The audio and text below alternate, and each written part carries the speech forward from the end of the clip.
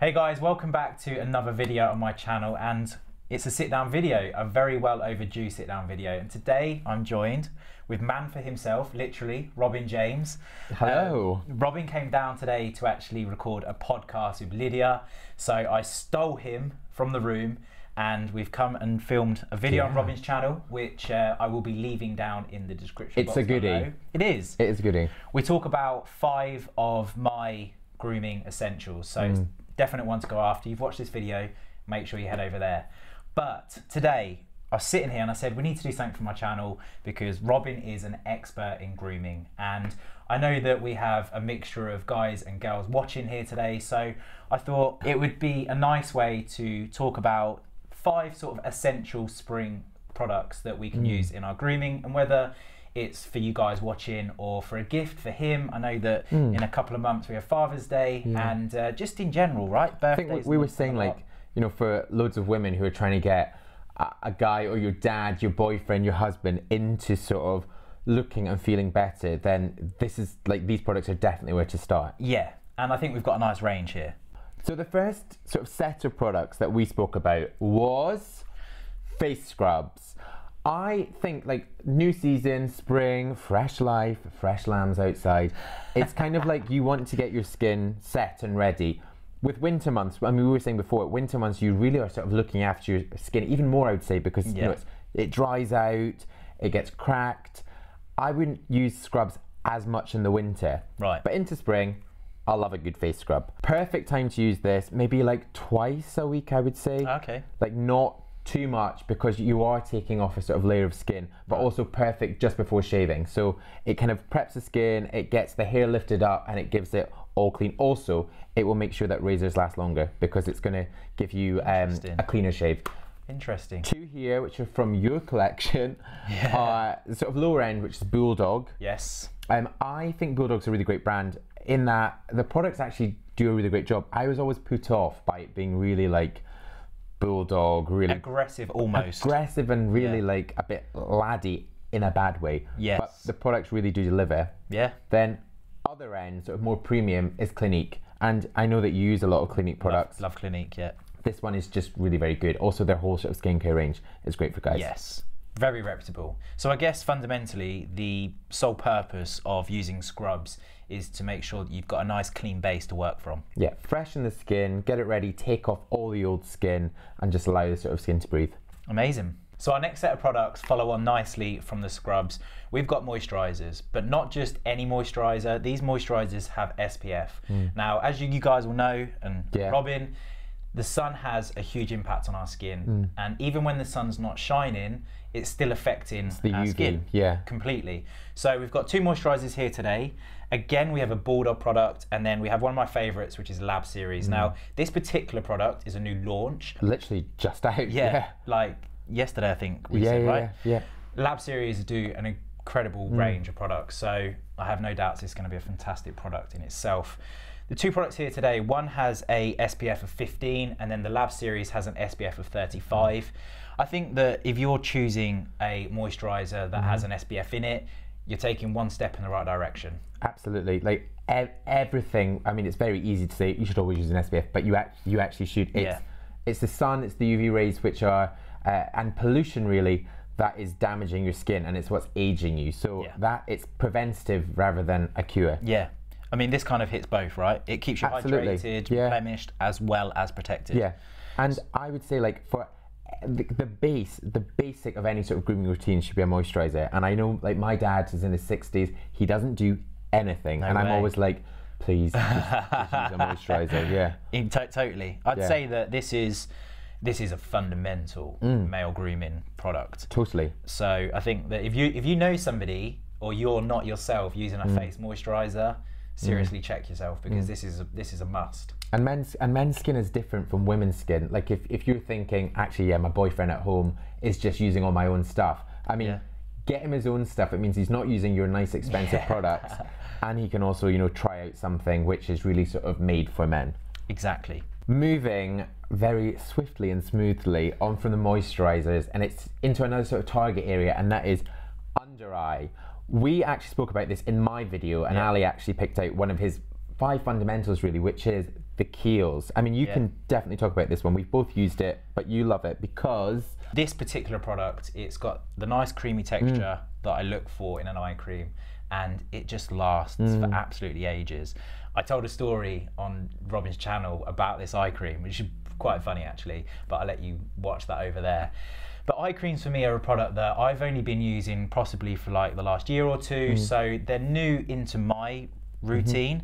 But I literally, I just wouldn't look mm. back. I think they're so fundamental, and they come in so many different types and styles. So here we have a roller, yeah, and this is more like a gel, so Yeah. it's it's a lot sort of lighter than the cream-based one. Yes. But we were also saying before how you might be thinking, okay, I'm already using a moisturizer, or he's already using a moisturizer. Why would you need a, an, an eye cream? That's because the area around your eyes is the most sensitive, and it's also the thinnest skin. So you really want something which is hydrating that area and also kind of protecting it. Yeah. And these are, are two products which are great. I love Kiehl's products. Yeah. If if you're trying to get into skincare or you want the guy in your life to get into skincare, then Kiehl's is great. And again, another sort of staple is Clinique. Yeah, totally. I think that we're talking about a delicate area on Mm. the face, and I think that this is possibly the first sign of aging, Of aging, around yeah. Mm-hmm. the eyes because we're, it's, it's where our expressions are almost shown the most. is. So again, it's so important to make sure that you're looking after this part of your face, and I think that you've got the moisturizer, Mm. you've got the eye cream, you've covered. I'd say the most important the aspect. most important part of your face. Yeah, Yeah, yeah, all of your face. Yeah, all of your but face. Mm. of when it comes to male grooming products for your face, there is a huge range. There's a massive range. and- we could go on for, yeah, for ages, and, right? And eye creams have become, for guys, have become so topical, uh, like really in this last year, Yeah. and more are coming out. There's ones by L'Oreal, Yeah. Bulldog have also got them, more sort of niche brands, um, and a lot of them also include caffeine. So it means it's gonna Yes. it's gonna plump the skin Yeah. if you're hanging uh, or you've just had a really hard day, you've got new kids or whatever, and you just like haven't had enough sleep. yeah. This is the Perfect. go-to. Next up, we have fragrances. Now, you guys will know that I'm a big fan and big lover of fragrances. You've got a lot of fragrances. I hadn't seen basically as many fragrances as I've just seen. This isn't all. Yeah, this isn't all. That's an impressive stat. You're going to have to do a video at some point of going through all your I fragrances. know I should. I should do a fragrance collection. Yeah. Although the video might be about an hour long. Quite boring. Be more like one of Lydia's videos then. Hey babe. yeah, spring summer fragrances. I mentioned this in Robin's video. Mm. I am a big believer that fragrances can definitely be topical. They're that the right word? like yeah, okay, or like Seasonal? occasion live, Yeah. seasonal, yeah. And I think that having a spring fragrance, you really need to go for those citrusy, fruity, and quite punchy Hmm. fragrances. They're quite light and airy, and they just kind of like follow through with that mood that Yeah, most it's like of us a be transition, feeling. isn't it? Yeah. Totally. So you've gone from the autumny, Like oody, yeah, woody, exactly. bassy, very musky yeah, and musky. masculine, and Anything with an E on the end. yeah. and then we go into the citrus. Light, bright, citrus, florals, whatever it might be. Yeah. exactly. So today I've got two of my go-tos. Uh, we've got Gentleman Only by Givenchy, and then we've also got Boss, Mm. Boss Tonic. Tonic. Mm. And I don't know whether this is sort of like a trend, but I do find a lot of spring fragrances tend to be in blue bottles. Yeah. Not always, sometimes greens, but it's something to keep an eye out It's like for. light and bright, isn't Yeah. it? Yeah. And another little tip actually, if you're looking for a fragrance for the spring, if you look at the sport editions on most fragrances, you you do find that they That's actually are, yeah, they're, Yeah. They're quite welcoming to the spring hmm. season. I would say also with fragrance, if you are looking to buy a new fragrance, go in and get a tester. Yes. Go in, get a tester, get him or you to wear it for you know a couple of days. And one of the most important things is fragrances go in notes. So you've got the top note, the heart, and the base. And what you're left with once that sort of dries down, the dry down on the skin is Yeah. is the base really. Yeah. That's what's going to be left. So you might have that instant hit of Exactly. something really punchy or spicy, but what's left might be something completely different. Different, So yeah. try it. And also, when you are going in to sample those, don't just lash yourself with loads of different, you Mm. know, you've got four fragrances you can try out. Mm-hmm. Separate them, different spaces on the arm, write it down where Mm-hmm. you've applied those. you know, you, we've all done it. We've gone in there, Yeah. we've gone, "Oh, I can't that?" remember which one that was, but it smells amazing. Fragrances are definitely essential, in my opinion, and they make such great gifts as well. I mean, we mentioned gifts at the start of the video. Yeah. And uh, I don't think people can take offense to being No. bought a fragrance. It's also the best way to get someone in your life to smell the way you want, want- them. yeah, So if you- totally, If you yeah. find this is a bit of a sneaky one, but if you find a fragrance that's like, yeah, I love that, then Yeah. then do that. And if they're wearing a fragrance that you hate, it's a nice subtle way of shifting Get that, that one out. Yeah, yeah, Get the new one in. Exactly. Lastly, but not least, we have lip balms. Lip care. Yes. So, I have to give you. Yeah, so I'll lovely. hold that one for Yeah. you. We spoke about this in that it's it's such a basic, but again, you don't really sort of talk about it so much. And it is No. lip balms, lip care. It's I was going to say it's the least sexy of all the products, but actually, Yeah. it's it's the most sort of intimate in a sense True. because your lips Yeah. should be moisturized, plump. It's one of the first things I would really say when you're talking to someone. You quite often, Yes. especially an attraction thing, your eyes will dip down to their lips when you're talking to them. Yeah. And if they're dry and crusty, it's not a vibe. It's a turn off. It's a and you don't want to be kissing off. those lips. No, you don't want them anywhere on you. No, no, no. like sandpaper lips. Yeah. But it's something that I think a lot of us guys and women probably find that certainly with the seasons changing, um, your lips are really sensitive. It's one of the first areas that you notice. yeah, Yeah. and they get affected. Um, ever since I went on Roaccutane and I had such bad Mm. lips Mm-hmm. from that course, I have just evolved a huge collection of lip balms and lip care stuff. Today we've got a couple of Mm. Yeah. varied price range products. Um, These are ones I actually I had in my bag today. I came with like a full.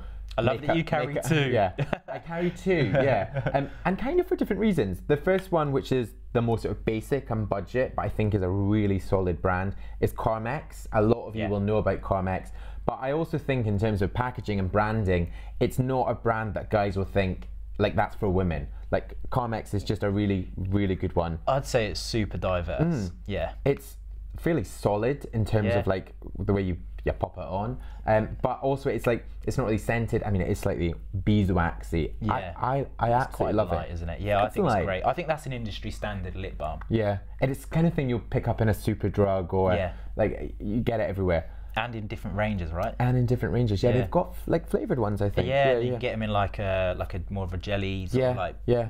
sort of more like the Dr. Lipp style, where you can squirt it Yeah, out. what I don't I don't know this one. What is that? Uh, so Dr. Lipp's basically it's it's nipple balm, but it is actually sold now for lips. Oh, okay. Um, so it's I think it says it For like sports. original nipple balm for lips. Okay, so like I- from like Ann Summers or I don't know. like I've that. not actually looked Yeah. into this sort of history of this product, but I mean, you can put them on your nipples if you want. Might save you on the chafage. I don't know. Yeah. but uh, it is for your lips, and I, again, I just like the texture, much Mm. like the Carmex. It's just got a nice texture. Is this the one it. that you constantly use? Yeah. Uh, yeah, I mean, I use a few. So um, Dr. Lipp's one that I like because even though it's quite big, it's quite skinny, so you can slip it in your pocket. It's not quite as bulky as the, Mm. Yeah. the sort of like solid packages, yeah. lip balms. Um, but what I love about this is it's quite heavy. Mm. So when your lips are really bad, this is a product. Dr. Lipp's certainly keeps them Like very hydrated and- yeah. I would wear this before I went to bed a lot Okay. and really lash Yeah, it on. yeah. As in Carmex is something. It's a lot lighter. It's, More like day. Yeah. I suppose it's like a night cream then, isn't it? You sort of Almost. just whack it on and yeah. yeah. So if you are somebody that's going through a period where your lips are really suffering, Mm. going for something like the Dr. Lipp, and I mean much like you've done, where you have a, a varied amounts things, of, of, of lip Yeah, yeah. care, Um, you can wear them different times of the day. Yeah. My other one, which is more like sort of high end, is this brand called Dr. Harris.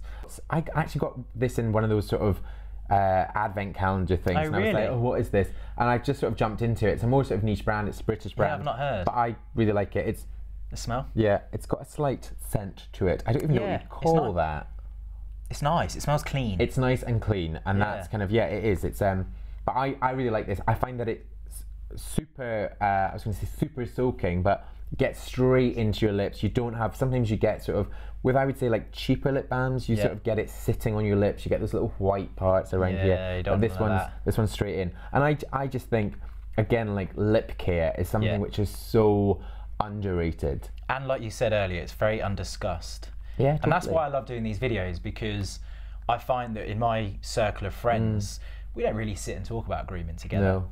Yet every single one of them does it. Does something, And yeah. it's a great way for us to talk and chat and for Mm. hopefully you guys to listen and see what we're using and what Mm-hmm. we're loving. It's a nice way of introducing and lip care is definitely not one that I've talked No, to no, about no. with with the Yeah. lads. What I'll do actually is I've got some more suggestions for each category. I'll give review them. Maybe like, Awesome. you pop them in the. We'll stick yeah. them in the description box. Lovely. because these products that we have featured here today they're just recommendations so um, there will be products that are worse and products that are better uh, so we will do our best to list a few of those below so Mm-hmm. you can sort of have a nice sort of range of these different five products but yeah i think that wraps up today's video nicely it's been amazing having Robin Thank here you for having me. it's been gorgeous yeah. and seeing your new home, which is very chic, I should say. Thank you very much. So yeah, thank you for watching. Um, I will be leaving Robin's channels, Instagram, YouTube, and all of that stuff down in the description box below. Um, if you want to check him out, it is Man for Himself. Thank you for watching, and uh, I hope you've enjoyed this video. If you have, do give it a thumbs up, and we'll be seeing you on the next one. Peace. Música